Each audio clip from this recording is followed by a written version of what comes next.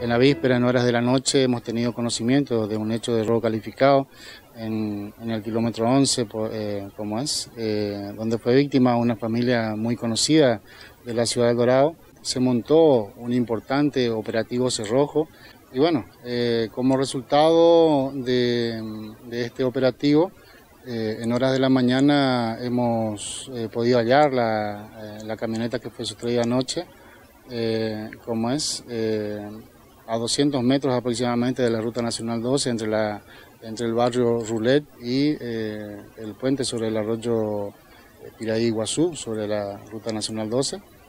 Y bueno, este es el resultado del, del, operativo que se montó anoche. También se, se, pudo contar con las primeras imágenes que se tomaron de las cámaras de seguridad que están funcionando en la ciudad del Dorado y que direccionaron eh, cómo es la investigación sobre este hecho, más que nada hacia el lugar o la zona donde se habría desplazado la camioneta sustraída. ¿Hubo violencia hacia la familia? Sí, efectivamente eh, hubo violencia, hubo uso de armas de fuego.